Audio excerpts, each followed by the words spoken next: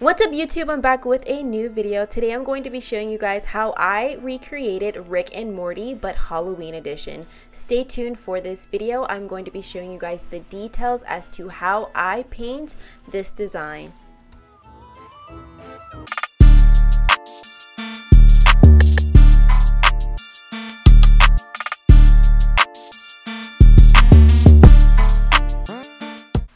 So guys, to start this video, I went ahead and I sketched out my artwork onto my nails. If you're familiar with my work, you guys know that I typically just look at artwork and I just freehand paint it on my nails and call it a day.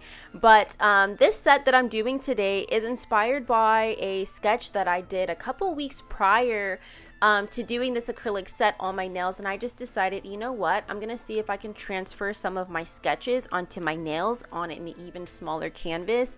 And so this is trial and error guys. So first off I want to say it is fine sketching out your designs on your nails. If you need that guide go ahead. By all means like who cares if you sketch out your designs? It doesn't matter. But this just helps me know where I'm going to paint out um, everything and give me an idea of what I am going to be doing. So I don't really focus too much on the pencil work on my nails. It's just so I can get an idea of what I'm going to do. So when you are sketching out your designs on your nails, don't focus too much on perfection because it's just going to be covered up with artwork. So here you guys see I'm working on the Rick portion of my nails. You can see Morty at the top of my cuticles and typically when you guys see my sets, I like to have my sets look like portraits more so more so than nails. So you'll see a lot of my pictures kind of like drag on to the next nail. So what I wanted to do this time, I always like to challenge myself.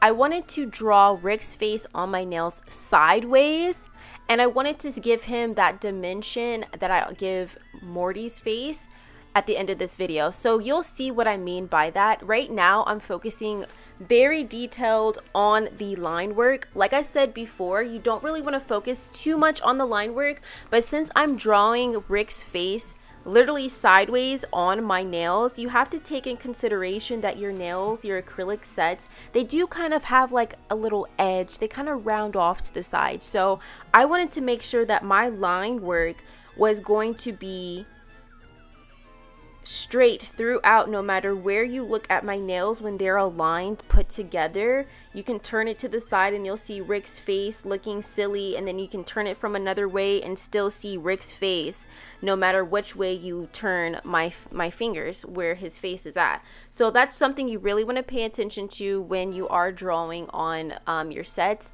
um, is to pay attention to the line work and make sure that it does go over the edges of the nails. Carry out the art throughout the nails so that when you do turn your hand, people can still see the artwork throughout.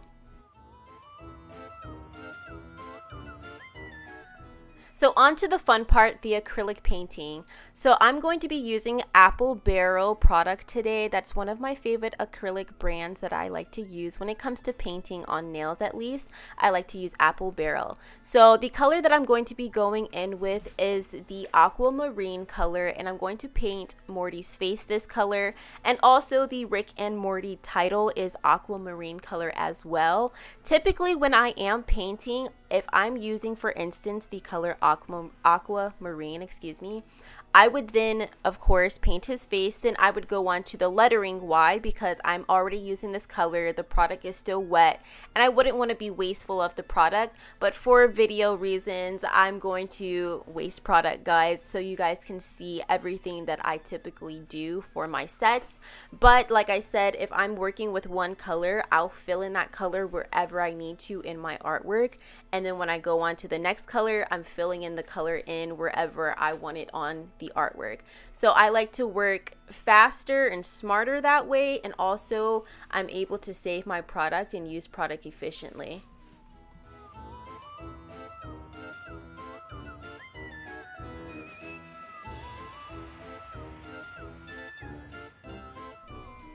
So now I'm going to go into Rick's hair and I'm going to be going in with Apple Barrel Bright Magenta color and I'm going to again fill in the outline that I drew on my nails of this design. So this is the very easy step of doing acrylic painting is literally you're just painting in where the line works are. Just like how you would color in a picture, a coloring book, you're literally just putting in the color. The details is what comes at the end of doing your painting. That's what really brings your artwork to life is your line work.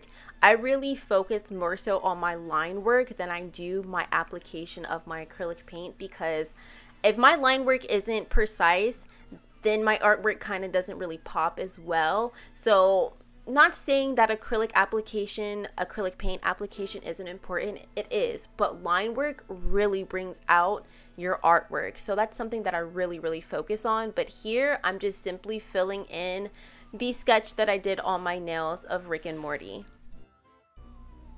Always keep in mind, guys, when you are using paint, when you're doing any type of artwork on your nails, make sure that you carry out your art onto the side of your nails as well because you don't want to just paint your artwork on the top portion of your nails and then you look at the side and there's no artwork. That looks really tacky.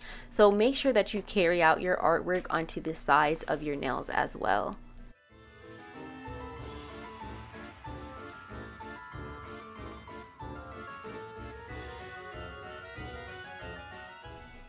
So now I'm going to go on to Morty's head. So what I decided to do was use that same color, that bright magenta color. And I also went in with flag red and I mixed the colors together to give that kind of like a pinkish reddish like tone to his skin color. I kind of wanted to give him that like like like like demon like red bright color but a deep color and I didn't want to mix black with it so I went ahead with magenta and since flag red is very very bright it kind of settled it down just a little bit so that's what I mixed together to give um, the complexion of Morty was that bright magenta and the flag red color. So again, I'm going to fill in the colors, go around his eyes and things like that.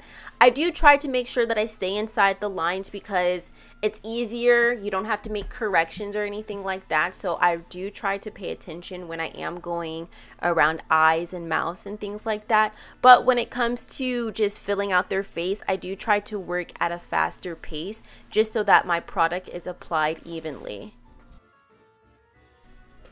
So one thing that I did a little bit differently um, with the Morty portion of my nails was I didn't apply the acrylic paint all the way to my cuticles like I did previously in like my Tyler the Creator um, inspiration video um, and set as well. I used to apply my acrylic paint all the way to the cuticle, but now I bring it down a little bit and even just a little bit past the acrylic just so that my artwork stays sealed when I apply my gel top coat.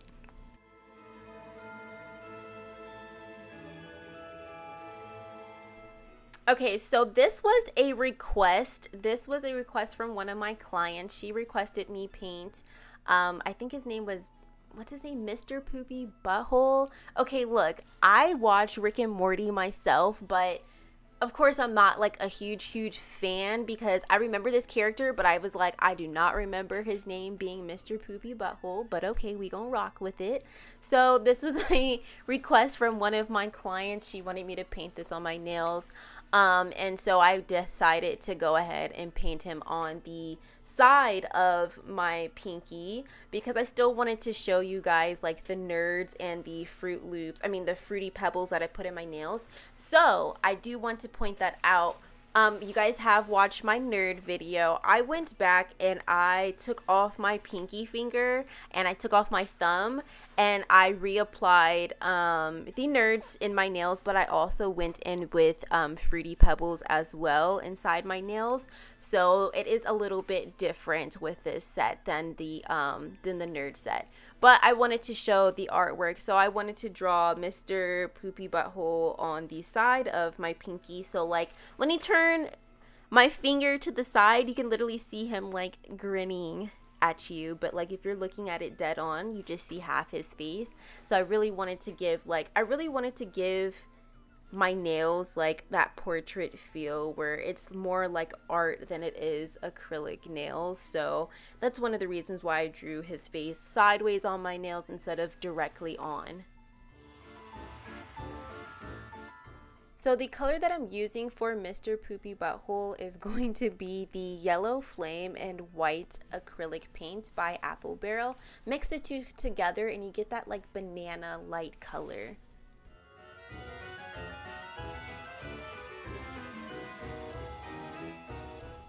So on to the title Rick and Morty. So like I said at the beginning of this video, when you guys do watch a lot of my acrylic painting and things like that, I typically do not draw out freehand sketch out my designs and stuff. But since I wanted to make sure that I had the correct spacing, I wanted to make sure that Rick and Morty's name got the same amount of coverage on my nails.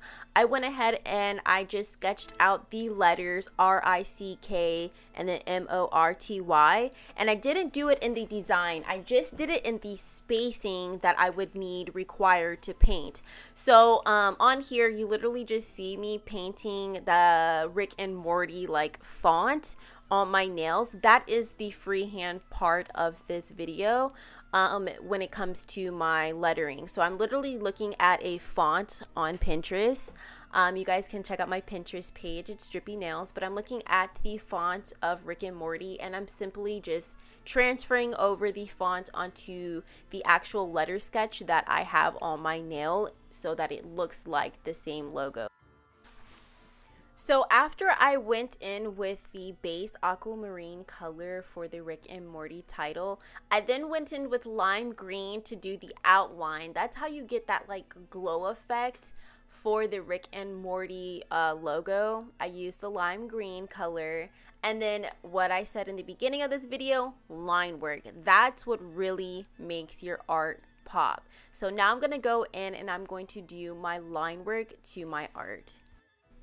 So here you guys can clearly see the difference that line work does to your artwork. This isn't just with acrylic nails, this is with all types of art. Line work is very important. So what I'm going to do is I'm going to put the final touches on my designs, make sure that my line work is precise, go in and make some lines thicker or thinner in areas that I feel that need to be worked on a little bit. So that's what I'm going to do in just a second before I get on to applying my matte top coat and my gel top coat.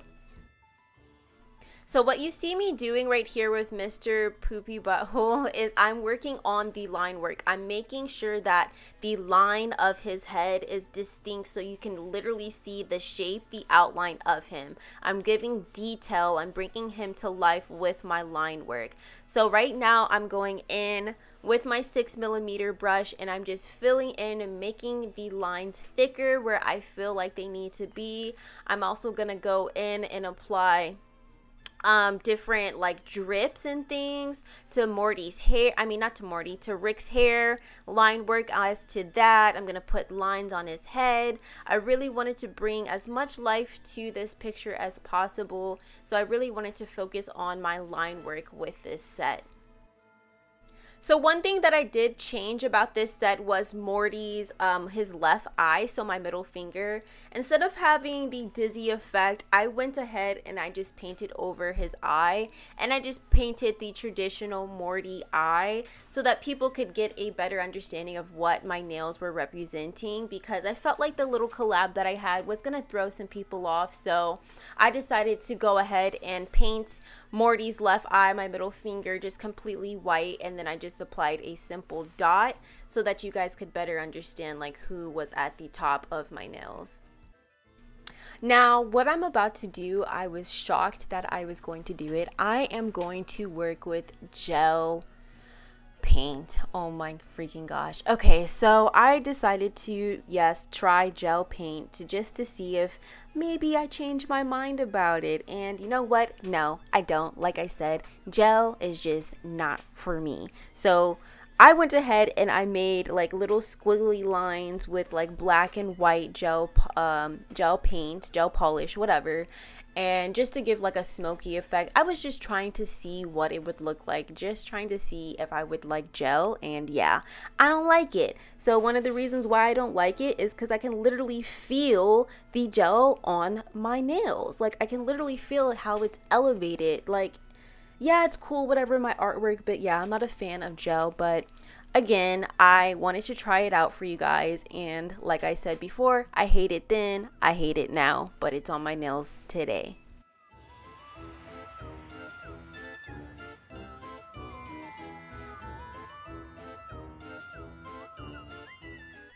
So this is what the set looked prior. Like I said, I changed his, um, I changed the left eye, my middle finger, his right eye. I changed the left eye on my middle finger to Morty's face, just so you guys, like I said, could have a better understanding as to who I was painting. So this is the final look of the Rick and Morty Inspiration Halloween set. I can't wait to show you guys what I'm going to be doing in the next two weeks. Halloween is all month long, so you know what that means.